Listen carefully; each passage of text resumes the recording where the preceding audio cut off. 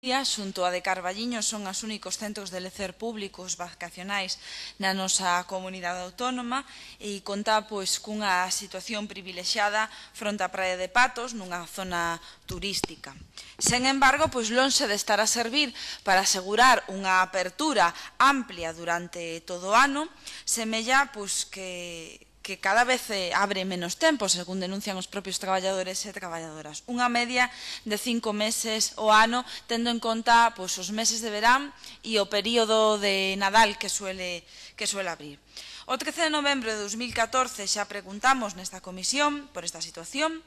situación eh, da que depende, como xa dixemos, o futuro de 36 familias, con 4 traballadores e traballadoras fixos e 32 traballadores fixos discontinuos, un cadro de persoal que previamente xa sufriu a amortización de prazas da Consellería de Benestar. A realidade é que nesa pregunta, en novembro de 2014, a Xunta trasladou, vostedes trasladaron unha contestación que a nos nos pareceu preocupante, unha contestación que parecía dicirnos que non nos queixásemos demasiado porque podría ser peor, denunciando ou dicindo que noutras comunidades autónomas tiñan pechado algunhas residencias de tempo libre ou mesmo privatizado os seus servizos. Preocupante porque precisamente a Xunta de Galicia a responsable de garantir o uso das instalacións públicas porque nun momento no que estamos de crise de necesidades sociais a, os usos da residencia poderían ser pois, bastante amplios e desbotar unha instalación social pública con traballadores e traballadores públicos non é mínimamente eh, responsable. Neste senso, tendo en conta que a residencia de O Carballiño ten unha apertura superior tras a aprobación dunha proposición non de lei para tal fin como se indicou por parte do propio goberno nesta comisión,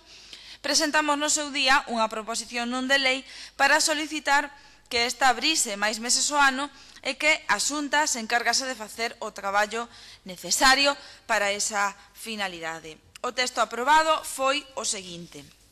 O Parlamento de Galicia insta a Xunta de Galicia a manter aberta polo menos durante oito meses a residencia de tempo libre de Pansón sempre que exista demanda suficiente que justifica a súa apertura e realizar unha campaña informativa de oferta do centro co fin de ocupalo a maior parte do tempo posible e dar conta dos seus resultados á Comisión Quinta Sanidade, Política Social e Emprego do Parlamento de Galicia tras o período estival e unha vez rematado o ano. Ben, o período estival rematou eh, xa eh, no mes de setembro Mm, de momento non tiñamos coñecemento de ningún tipo de dato e, polo tanto, formulamos esta pregunta para que nos aclaren si realmente a Xunta de Galicia eh, pois, eh, aplicou eh, o aprobado neste Parlamento ou non, ou fixo oídos sordos, e si tomou algún tipo de medida. Polo tanto, preguntamos si levaron a cabo a campaña informativa pertinente, tal e como aprobou o Parlamento de Galicia, porque entendemos que eh, como se desprende do que se dixo aquí nesa comisión de novembro, é insuficiente que a Xunta de Galicia colgue, eh, pois digamos, a oferta, entre comiñas, da, do centro na páxina web da Consellería de Benestar, porque eso non o van a ver a maior parte das galegas e galegos, e por eso solicitábamos unha campaña que facilitase ese acceso pois a ese recurso público. Preguntamos de non ser así que explicacións poden dar ante este feito e, obviamente, de ser así, en que consistiu esa campaña, cal foi o custe, cales foron os resultados de ocupación e como valían vostedes dita campaña.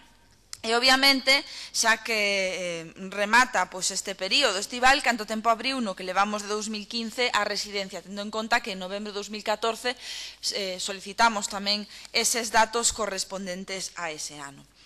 Entendemos que a única maneira de que este centro teña ocupación é que a propia administración se encargue de que teña ocupación e de darlle uso a unhas instalacións públicas que, repito, non estamos agora mesmo como para despreciar. Eh, agardarei a súa resposta e farei a valoración na miña segunda intervención. Gracias.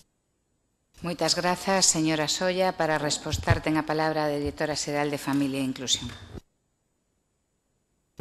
Gracias, señora presidenta. Gracias, señora Soa. Soya, bons días a todos e a todas. En primeiro lugar, efectivamente, aprobouse